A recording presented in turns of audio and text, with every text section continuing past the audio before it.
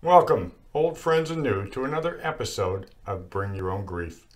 I am, as always, your humbled host, R. Glenn Kelly, and this is a special installment of the BYOG Network because today's episode is not actually focused on my fellow grievers out there, not directly anyway. Instead, this episode is, is for my former fellow business leaders, owners, executives, senior and frontline managers, HR personnel, actually any and all of those who have a responsibility of sound stewardship in their enterprises. And let me ask them a question directly.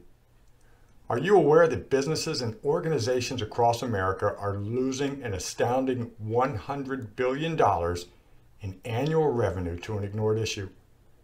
That's annual loss, by the way, each year.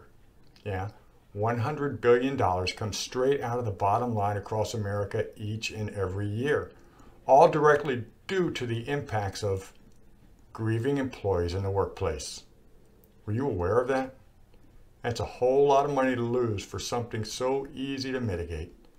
And every organization shares in that hidden but recoverable cost. Grief and bereavement impacts us all for profit companies, nonprofit organizations, government agencies, and even civic groups. So, whether you're leading a small to mid sized business, a Fortune 500 enterprise, are you're responsible for the sound practices of tax dollars, donor funds, or membership dues, you don't want to miss this episode. Grief in the Workplace Mitigating the Hidden Cost of Employee Bereavement.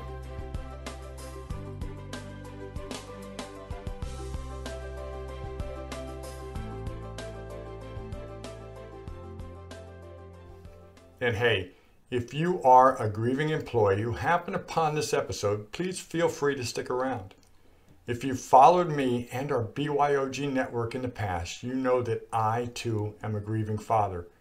I'm also someone who believes that awareness and understanding are the key to helping us move a little farther down the path of hope and healing. So stick by and learn about the impacts of our losses to the workplace. It'll serve you well to get that awareness and understanding of how our loss affects business across the country. For just a moment, though, I want to take the time to thank you all for tuning in to the Bring Your Own Grief Network. I am honored. If you haven't yet, please make sure you subscribe to the BYOG YouTube channel. And if you find value in this episode or others, like it on YouTube and share it with others. Whether you're a business leader or griever, please know that subscribing, liking, and sharing these episodes will help other grievers more easily find this and other resources from our network. Help promote healing, please. So thank you and welcome to all. If you haven't listened to me in the past at conferences, podcasts, webinars, or video episodes, know that I have experienced grief from both sides of the fence as a business executive and as a bereaved father. Now, as for the business side, after what most would have considered a full adult life, beginning with an honorable tour in the United States Marine Corps, followed by local and federal law enforcement agencies, I spent another decade and a half in executive positions within the defense industry with some of the largest government contractors around the globe. So I don't just speak solely from study and stats. I speak from the heart as well, from professional and yes, painful experiences. As for my loss, the story of my 16 year old son, John, and he's my only child. He passed away from a rare heart defect.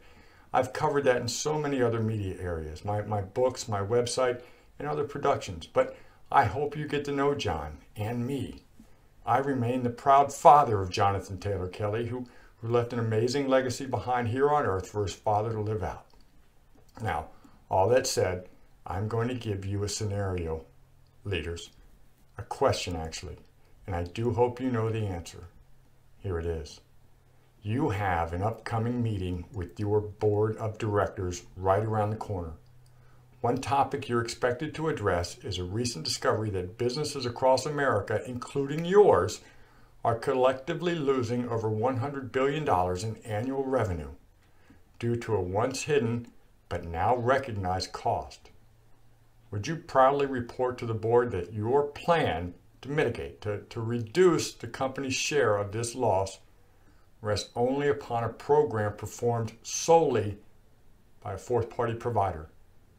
with limited or even no accountability, and with historically low participation by your employees? Could you confidently tell the board that this program is the best you can do for employee welfare and safety, as well as company reputation and overall productivity? Heck of a question, right? Personally, I would expect a resignation letter along with that. Wouldn't you? Now, if you didn't pick up on it there, there's a little dig in that question which hints of using an employee assistance program. I'll talk about EAPs in some length towards the end of this episode, but for now, just know I'm actually a very strong advocate of EAPs and, and how they can serve the bereaved. It might not seem so in the way I backhandedly spoke of them just now, but stick with me for a bit and I'll fill you in. Listen, I want to put something else to bed right off the bat here, too.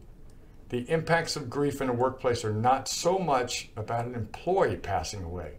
So I don't want you to shy away from this early because you believe it doesn't apply to your organization. That happens a lot when we bring up grief in the workplace. Our minds go right to the death of a coworker, someone we work with. We don't believe we deal with that very often on the job, do we? It just doesn't happen a great deal. Maybe not. Not losing a direct employee anyway. The CDC, the, the U.S. Centers for Disease Control, actually reports an average of 823 deaths per 100,000 persons in the United States each year. So that breaks down to a tad less than one death for every 100 persons annually. One for every 100 across the country in a year. It sounds small, huh? The vast majority of businesses in America are made up of small and mid sized companies, right? So death just doesn't seem to rear its ugly head that often for businesses with 10, 25, or 50 employees, does it? Now, don't get me wrong here. I think we've all lost coworkers if, if we've been around long enough, regardless of company size. And the tragic loss of any employee, regardless of company size, will have negative financial and production issues tied to it in every organization. The U.S. Bureau of Labor Statistics just released figures from 2016, their, their latest released, which shows that the number of deaths on the job was 4,836 employees for that year, 2016. But this is something we don't really want to think about, agreed? But when one employee passes away, a strong business can identify the gaps and the means to fill those gaps quickly. Yeah, certainly there, there's negative impacts to productivity and some of it emotional too, which can actually carry on in the workforce for some time into the future. However, in what can be a relatively short time, again, operations are soon back to accepted standards. To that point, what I'm speaking of here in this episode is the death of an employee's loved one, immediate family members, not just a single employee on the job. And if we look at the recent CDC and Department of Labor estimates, each employee in America has an average of 3.4 immediate family members at home. let's add to that the possibility of two living parents and, and maybe a sibling or two. So the potential of grief impacting the workplace grows exponentially, with each employee representing 3.4 or more other possibilities of grief risk to the operations. Small and mid-sized businesses may not be so small anymore, right?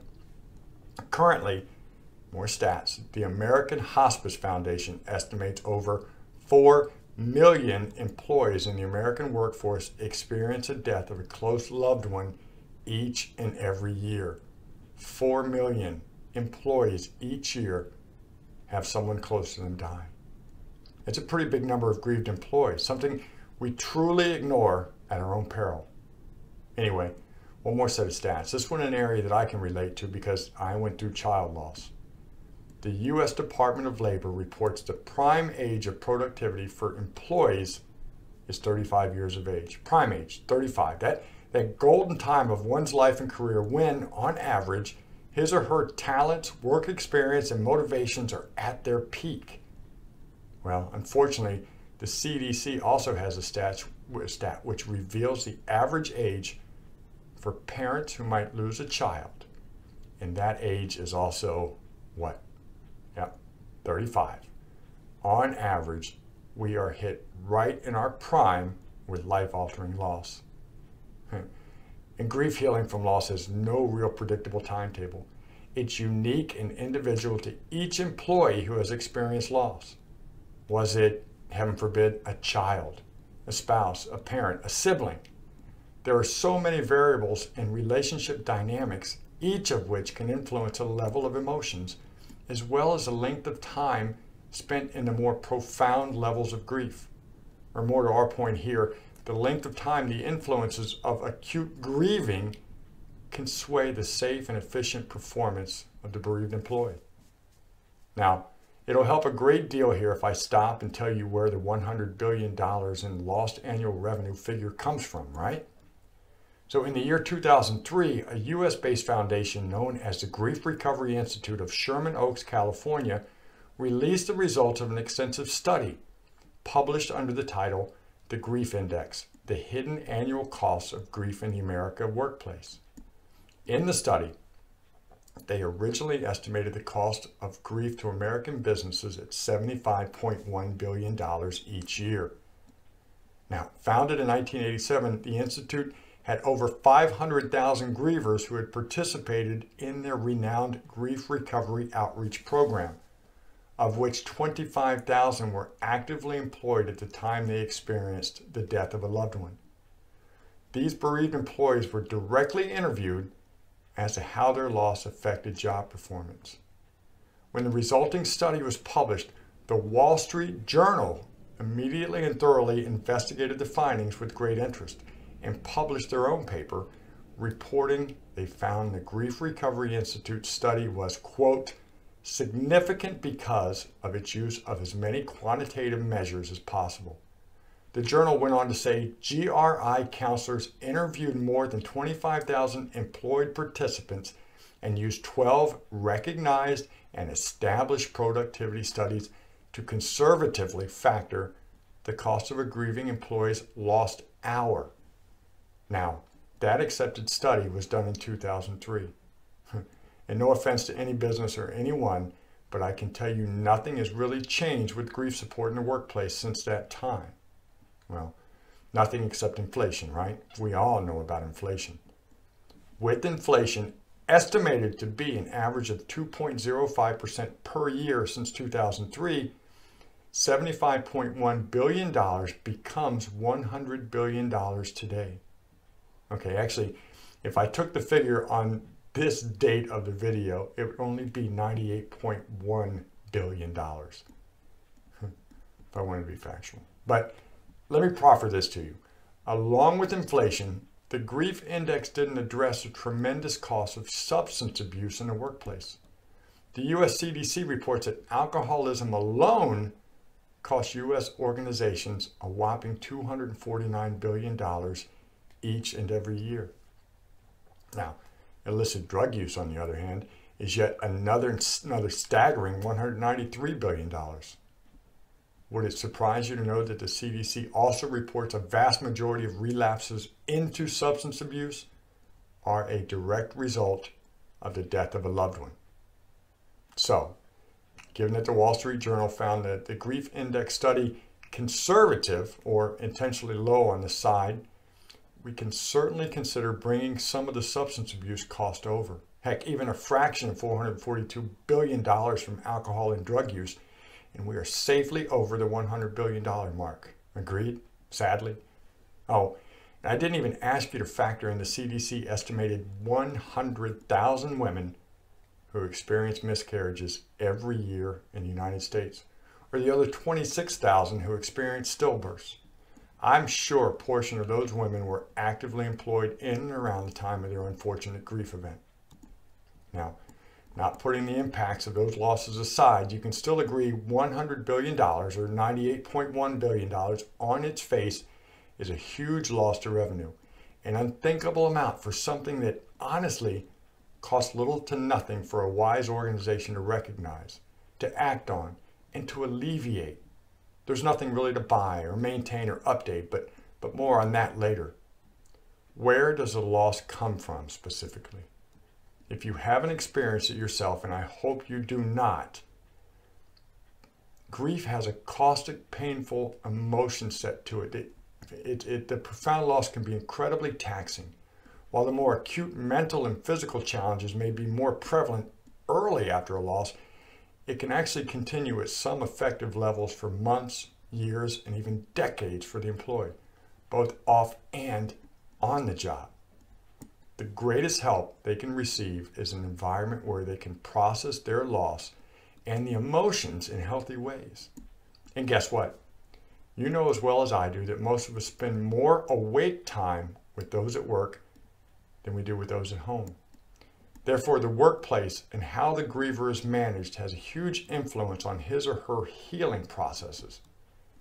And let me tell you, loss of a loved one can bring on confusion, anger, fear, incredible anxiety, and so much more. The physical impacts alone can be overwhelming to many. Let me tell you about some, but not all, of, of, of how that hits us. Your grieving employee returning to work after a loss might be experiencing such physical challenges as insomnia, loss of appetite, restlessness, fatigue, muscle weakness, body aches and pains, headaches and migraines, heart palpitations, tightness in the chest, shortness of breath, gastric or stomach pains, increased severity to current health problems, decreased immunity, which means more frequent illnesses. Can you imagine the toll this takes on just the body alone? and the griever may have some, all, or a combination of any of these, or even physical impacts I didn't, I didn't even mention. And what about the mind, you ask? The psychological impacts, the mental and emotional state for the newly bereaved? The, the bad stuff is probably just kicking in and, and rattling around their brains when they're just getting back to work. Many of us had too much to do right after the loss to even stop and, and think about our emotions. Now, like the others, these following mental impacts can exist in combinations too and come and go as they please. They include, but are certainly not limited to, lack of concentration, confusion, memory loss, anxiousness, distractedness, mental exhaustion, lethargy or, or being lethargic, prolonged anger, other mood extremes, denials of reality, distrust of self and others, withdrawal, loss of faith, and, and depression. I'll absolutely admit to a number of these after my loss, some that still pop up from time to time today. But I want you to expressly be aware that many grievers will try to hide these feelings or moods from you and other coworkers. They need their jobs. They're concerned how you'll perceive their value. Thankfully, you know what an asset they are, right? But the next question is how does all that transfer to the workplace, to productivity, the lost hidden cost to the bottom line? Now, in no particular order, let's, let's talk about that now. First, you may very well see increased absenteeism, which already costs our businesses $225 billion each year per our Department of Labor. And then there's increased accidents and injuries on the job. Listen to this. On Memorial Day in 2012, then U.S. Secretary of Labor Hilda Solis stated in a speech Every year in America, nearly 4 million people suffer a workplace injury from which some never recover. Every day in America, 13, 13 people go to work and never come home. Now that deeply sets safety in our minds, am I right? As a matter of fact, part of that release study from the Grief Recovery Institute found that 90% of frontline employees who experienced the death of a loved one reported increased injuries on the job which they directly related to their grief. Hmm. Then there's errors in judgment. That same study also showed that 85% of those employed in management positions, from executives to frontline supervisors, reported experiencing major errors in judgment on the job that continued on for at least six months beyond the grief event. But let's also add to that higher general liability costs for you, higher workers' comp rates, higher turnover rates, increased hiring costs, increased training costs, errors in tasks, incomplete assignments, delayed production, higher oversight costs, absent-mindedness, apathy to responsibilities and goals, insubordination towards supervisors, alcohol and substance abuse, decreased workforce morale, disruption to clients, partners, and suppliers. Had enough? Grief in the workplace obviously has a huge, huge impact. Look, good organizations usually recognize and mitigate loss to revenue and productivity in short order. It's what makes many successful businesses well, successful. However, and I'm just being honest, grief is an issue still not handled very well, if at all, in corporate America, or in local, state, or Fed government agencies for that matter. It's almost understandable though. After all, grief is a, a tough subject. Mortality is something we don't easily think about. And that's exactly why it remains a hidden cost for most. One not approached often because it makes us feel, well, uncomfortable. Now, don't get me wrong here. That doesn't mean that companies are dispassionate about grief.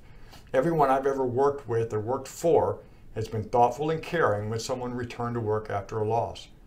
But the death of a loved one is a personal issue, and we aren't conditioned well as leaders to involve the business in the employee's personal affairs. When you come to work, leave your home life at the door, right? Well, that works both ways. Deep inside, as a personnel manager, I would hope they always leave home at home. After all, a business is in the business of what? Being in business, not tending to emotional needs and concerns off, off the job, right? I don't have time to deal with the personal lives of my staff. I have to get things done. And that's where the EAPs come into play, right? If you are a good company, you'll provide the services of EAP and, well, you've done your part, right? Now, you know what front, once again, I believe in and appreciate the services of EAPs. I'm not trying to dismiss them at all here. They can be a phenomenal service, and I applaud any business that contracts one.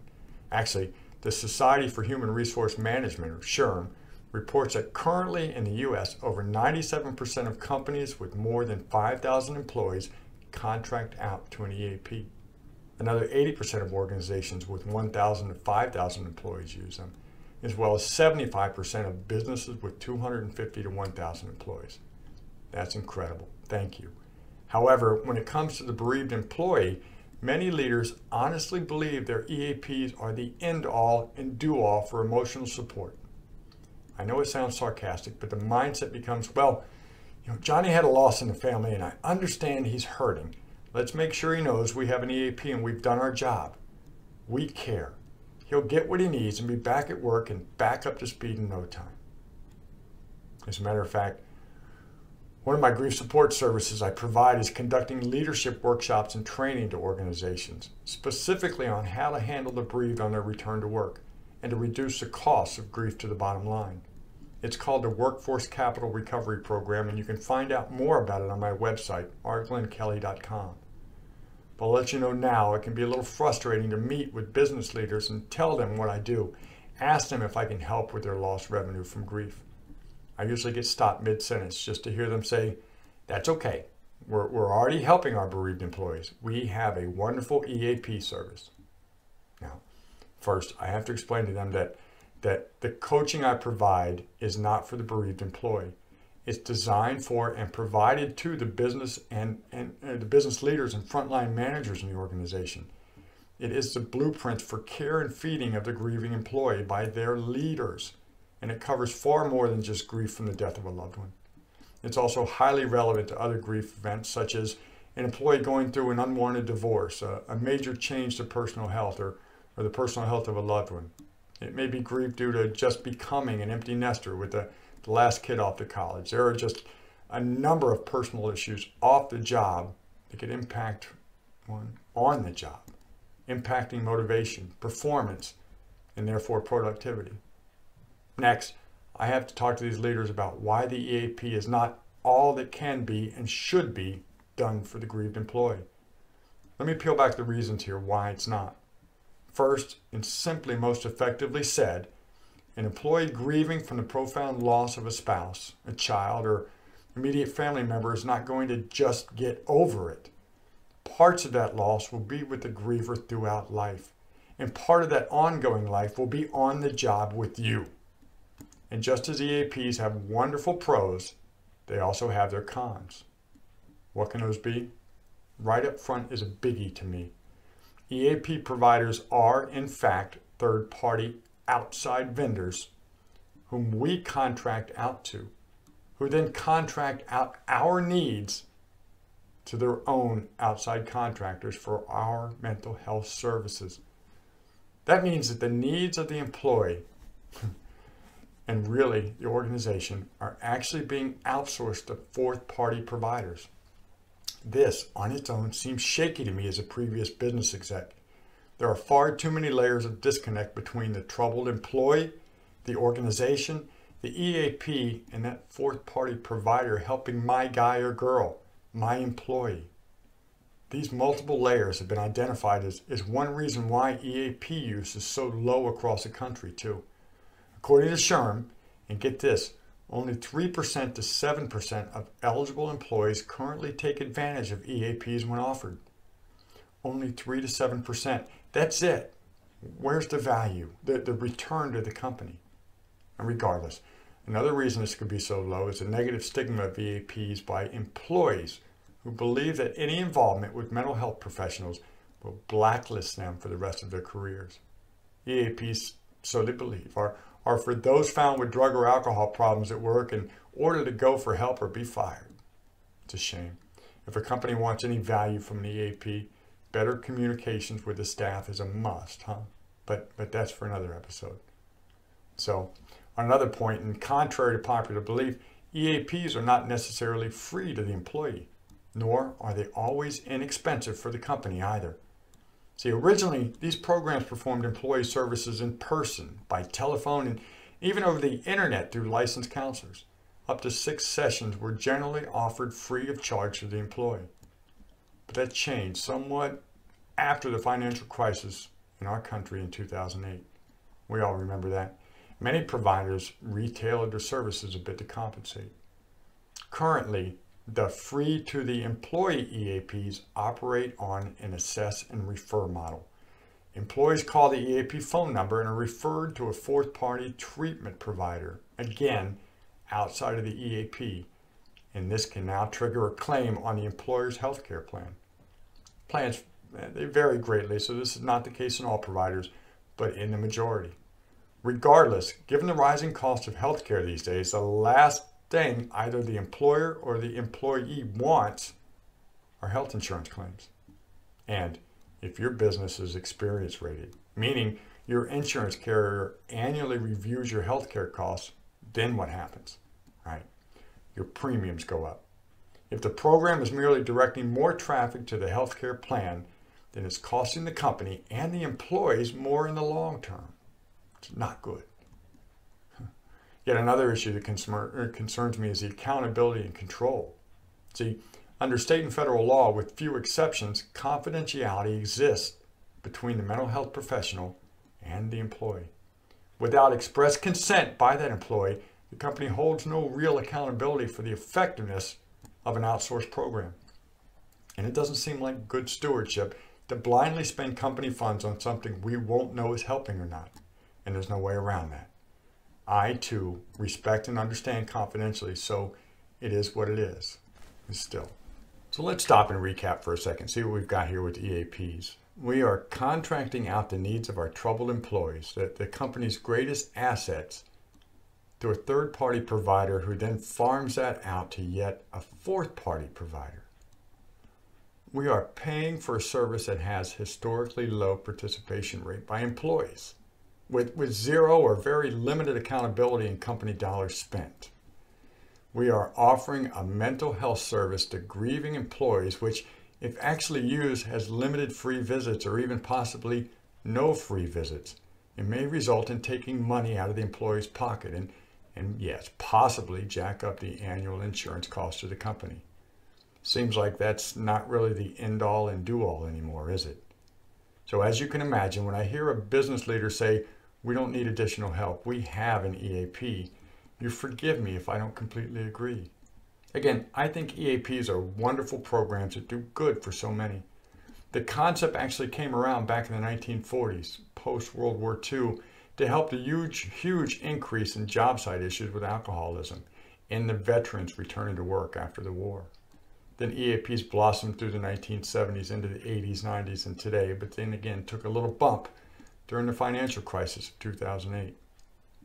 So here yet is another very important issue that I feel. Even if the grieving employee finds help in an EAP provided counselor, it's probably going to be only weekly at best. Probably not daily anyway. And again, sessions may be limited if free and, and costly if not.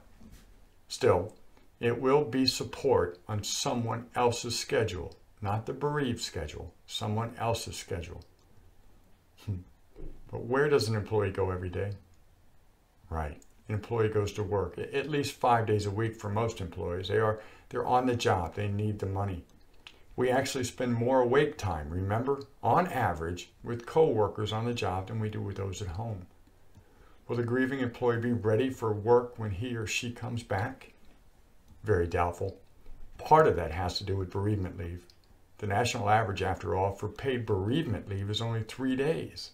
Now, some organizations do give more, some less, some give none at all, but three is the average. It's just, it's odd really under the FMLA or the Family Medical Leave Act. A, a working mother to be can take lots of time off leading up to and after the birth of a child and, and should. It's, it's much needed.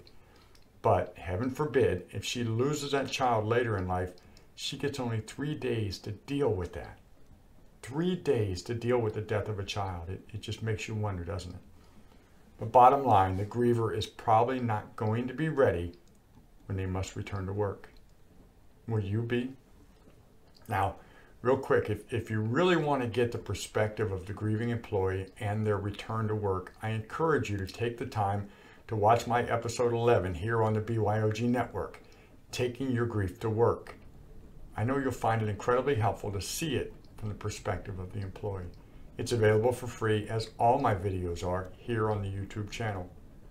But getting back to it, you heard me talk earlier about a grief healing process. For those of us who have experienced a traumatic loss of a loved one, we will never heal completely. Know that. It will just be with us until we die as well. But we will return to living a life of purpose and, yes, be productive employees again. We just need to begin healing, healing in healthy ways. So, the workplace is where the grieved spend a lot of time, far more than with any mental health professional, right? And they will be hugely impacted by interactions with supervisors, subordinates, and peers daily. Some will be minute by minute, hour by hour. Thankfully, for the company and for the bereaved employee, the workplace is where business leaders can exercise some control over the impacts for those troubled employees. Doing so will result in minimizing revenue from reduced productivity, workplace accidents, and low morale. I encourage you to look harder towards supporting the bereaved and, grieving employees. They have a tremendous influence on the success of your company, organization, or agency. And this support really takes little more to start than just a recognition that grief affects all businesses regardless of size. Then it becomes an expansion of the old cliched paradigm shift a shift that really has already been taking place in corporate America for years now. That the employee is the greatest asset to the organization. Morale and welfare programs have, have actually grown tremendously in that direction already, right? We've all seen it. Grief, however, seems to have been left behind. As I mentioned earlier, I've seen this from both sides business leader and grieving father who had to return to work after my loss. But since the time I lost my son, I've left corporate America and after authoring my very first award winning book, Sometimes I Cry in the Shower, I've had the privilege of becoming a sought after keynote speaker and workshop presenter in the grief support community. Along with publishing two other bereavement support books, I have spoken or presented at national and regional conferences over the years with thousands of grievers in attendance, and I've sat down one on one with hundreds to discuss their experiences in returning to work with the grief. This led me to my next book, Grief in the Workplace Reducing Hidden Revenue Loss from Employee Bereavement. This one is for you, the employer. It's due out shortly and expands on what we have talked about here massively, as well as going more into depth on, on compassionate workplace support. I'll be sure to make announcements here and across social media on the book's public release. And as I mentioned briefly just a moment ago, I also offer business workshops, coaching, and training for managing grief in the workplace. My corporate training is called the Workforce Capital Recovery Program, and these half day or full day seminars conducted by me at your facility anywhere in America are not meant to be attended by the grieving employee. Instead, attendees should be the organizational leaders and human resource personnel. My coaching provides nothing that requires or takes the place of a licensed mental health professional, nor is it meant to replace an EAP. I provide only proactive, reactive, and initiative based methodologies in, in managing grieved employees, which comes from not just stats and study, but again, professional and yes, painful personal experience. But once in place, there is no cost to maintain your grief in the workplace program, no software to update, no new hardware to add along the way. The methods and approaches do not expire or become outdated. If used in a manner which promotes change to the culture of your organization successfully, it will reduce your share of $100 billion loss. It can't help but follow. As an added value, the change will also boost industry and community branding for your organization and allow you to confidently say, we are doing everything we can for our greatest assets, our valued employees. Please contact me directly by email or go to my website, rglennkelly.com, to find out more about the Workforce Capital Recovery Program and how it can uncover and return hidden costs to your bottom line. Be that good steward to your organization and your people. All, of course, but especially today, the grieving employer.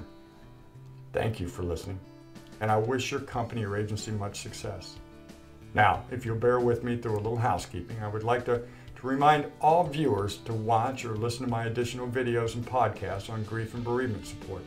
Again, after the loss of a loved one, awareness and understanding of ourselves and of each other can go a long way to helping with the journey of healing. Also, I'd like to remind you if you have not, please subscribe to the BYOG YouTube channel and like this video. You may be listening to this as a podcast to such programs as iTunes, iHeart, Stitcher, or SoundCloud.